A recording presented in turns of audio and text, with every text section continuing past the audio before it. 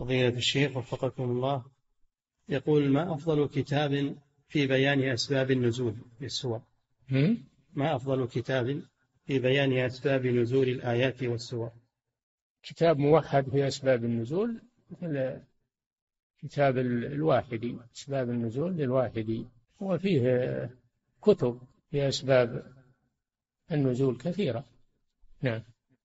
وأسباب النزول مذكورة في كتب التفسير مثل ابن جرير مثل ابن كثير مثل مذكورة فيها مدرجة فيها أسباب النزول. نعم.